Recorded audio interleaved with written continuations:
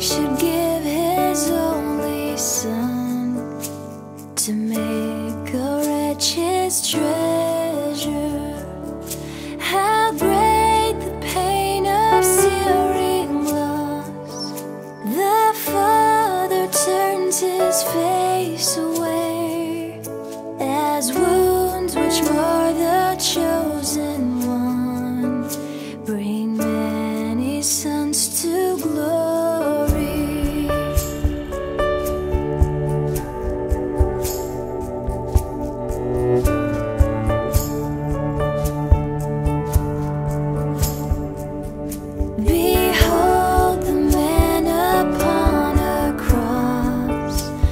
My sin upon his shoulders. Ashamed, I hear my mocking voice call out among the scoffers. It was my sin that held him there until it was accomplished. His dying breath has brought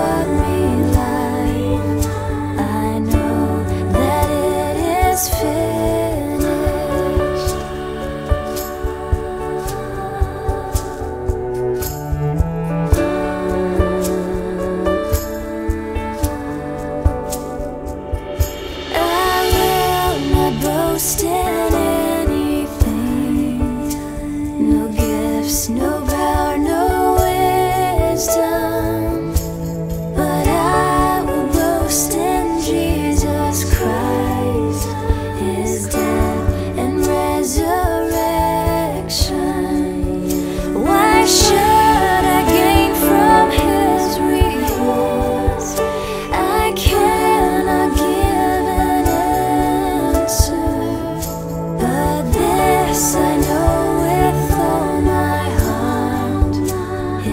I've paid my